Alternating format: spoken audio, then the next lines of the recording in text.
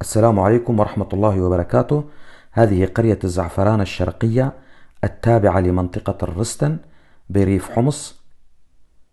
القرية ذات غالبية كردية حيث تبلغ نسبة الكرد فيها 75% تربطهم علاقة قرابة كونهم ينتمون إلى عشيرة واحدة وهي عشيرة قوريبك المتواجدة في مدينة كوباني.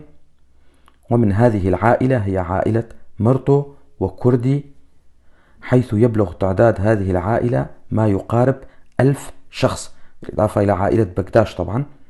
مقيمون في نفس القرية يعمل الغالبية بالزراعة والتجارة ويتميزون بحبهم للعلم لكثرة الشهادات الجامعية في العائلة وتربطهم علاقة قرابة مع القرى المجاورة مثل قرية الدار الكبيرة والغنطو كما لهم أبناء عمومة مقيمين في مدينة كوباني كعائلة مرتو وعباس وغيرهم ويتميزون بحبهم لقوميتهم الكردية ولجميع القوميات الأخرى. للأسف الجيل الجديد لا يتكلم الكردية كالجيل القديم. هذه المعلومات وصلتني من أحد أبناء القرية وأنا ألقيها بصوتي.